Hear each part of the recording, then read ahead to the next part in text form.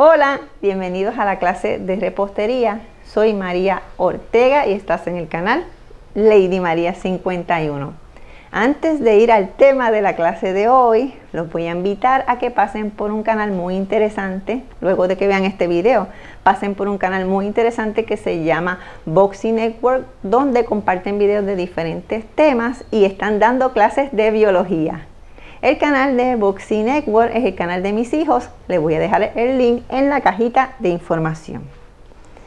El tema de la clase de hoy es cuál es la diferencia entre mezclar, batir y mezclar de forma envolvente. Hay varias personas que me han preguntado eh, si mezclar y batir es lo mismo o hay alguna diferencia. Pues en la clase de hoy vamos a decir cuál es la diferencia. Cuando en una receta te dice que vas a mezclar los ingredientes, ¿qué significa? Pues es que vas a unir los ingredientes de manera que se distribuyan uniformemente. Por ejemplo, eh, una, mezclar los ingredientes en una receta puede ser pues mezclar los ingredientes secos. Ejemplos de ingredientes secos pues son la harina, el bicarbonato de sodio, el polvo de hornear, el azúcar, la sal, esos son ejemplos de ingredientes secos que puedes mezclar en una receta. ¿Y cómo lo vas a mezclar? Pues puedes mezclarlo, por ejemplo, aquí yo tengo este recipiente en base y puedes mezclarlo, por ejemplo, pues con una cuchara, lo puedes mezclar, lo puedes mezclar con un tenedor, lo puedes mezclar con un batidor de globo así como este. Ahora, también lo puedes mezclar con las batidoras eléctricas, así como esta de mano o esta profesional. La diferencia es que los vas a mezclar a velocidad lenta. ¿Ves? Esa es la diferencia ¿eh? de mezclar los ingredientes. Ahora, si en una receta te dice que vas a batir los ingredientes, pues ya estos ingredientes pues los vas a unir y los vas a, batir de forma rápida.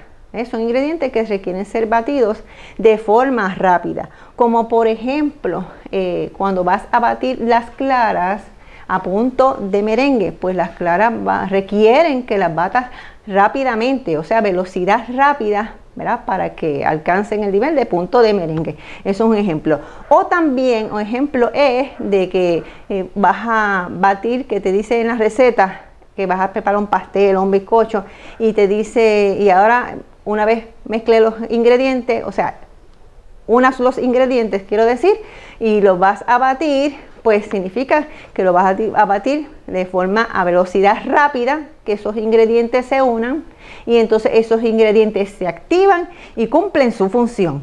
¿eh?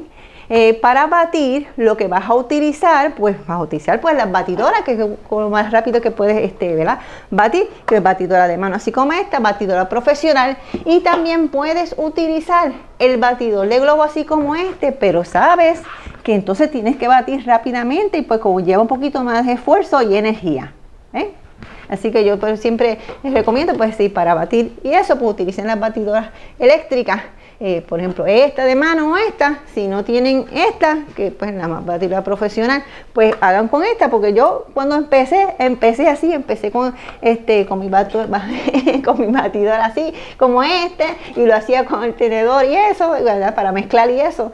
Este, y después adquirí esta, batidora y poquito a poco pues fui juntando pues dineritos y entonces pues fue que pude adquirir pues esta otra batidora así que ¿verdad? uno empieza así poco a poco así es como se empieza y entonces ahora este cuando una receta te dice mezclar de forma envolvente pues ya este eh, esta mezcla de forma envolvente no es lo mismo que mezclar ya, ya aquí varía, hay diferencia. ¿Y por qué?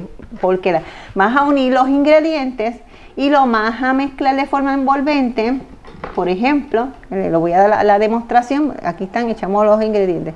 Y vas a hacer así, y vas a mezclarlo de abajo hacia arriba, de abajo hacia arriba, ¿verdad?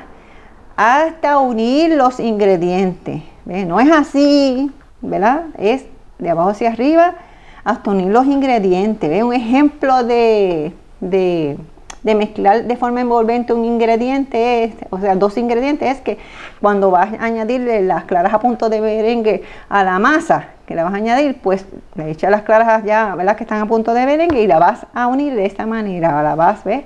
de forma envolvente, ¿eh? porque no queremos que estas claras que ya subimos, ¿verdad? Pues que se bajen. Y esa es la razón de ser de forma envolvente. Eh, otro ejemplo de otro ingrediente que se mezcla de forma envolvente es la, la, crema batida. La crema batida cuando la vas a añadir también lo mismo es de forma envolvente. ¿Y qué puedes utilizar para utensilios para mezclar de forma envolvente? Pues puedes utilizar pues una cuchara o puedes utilizar pues una espátula así como esta. Yo prefiero la espátula ¿eh? y así mezclamos de forma envolvente. Así que ven, como ustedes pueden observar, pues cada uno pues, pues tiene su diferencia, ¿eh? que son eh, muy importantes, ¿verdad? Va a mezclar, batir o mezclar de forma envolvente, muy importantes en la repostería. Bueno, espero que esta información les sea de mucha utilidad. Este, recuerden compartir este video ¿verdad? con familiares y amigos para que también aprendan sobre las clases de repostería. Preparamos estas clases con mucho amor. Mi familia y yo las preparamos con mucho amor para todos ustedes y lo espero en la próxima clase.